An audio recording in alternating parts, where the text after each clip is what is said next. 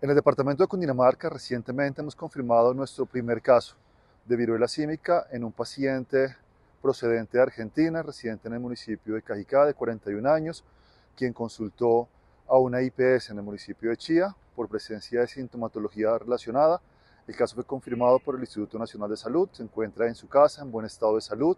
se ha realizado un cerco epidemiológico alrededor de los contactos estrechos y hasta ahora ninguno ha presentado complicaciones. Adicionalmente, se dan las recomendaciones a la población general respecto a las medidas a tomar, recomendaciones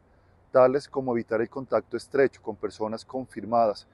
o sospechosas de viruela símica y adicionalmente si alguna persona presenta un síntoma relacionado con la enfermedad, dado como una lesión cutánea, que puede ser una lesión principalmente en extremidades, en piernas, en brazos, en cuello,